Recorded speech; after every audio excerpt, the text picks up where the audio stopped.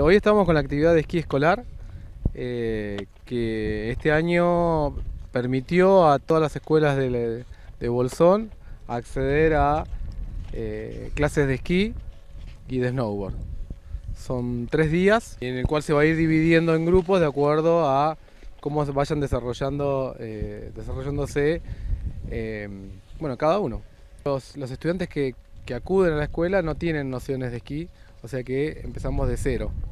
Eh, la actividad de esquí escolar este año lo, lanzó la provincia, pero nosotros lo venimos trabajando con el municipio y con el cerro desde el 2018, con la orientación turismo.